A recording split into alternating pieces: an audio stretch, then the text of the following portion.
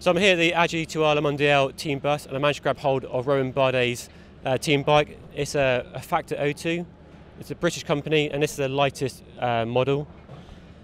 The normal AG2R La Mondiale bikes are finished in a very fetching blue paint job. This one, just for their team leader, is finished in white with reverse decals.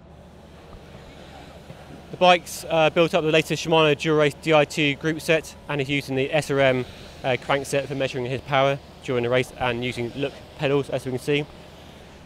Uh, Mavic wheels with Continental tubular tyres. It's got a Fizik Arione saddle matching the paint job of his frame and the handlebar stem and seat post are black ink uh, components. So pretty stunning bike, I think you'll agree. Let us know what you think of it in the comments and stay tuned for more Tour Tech soon.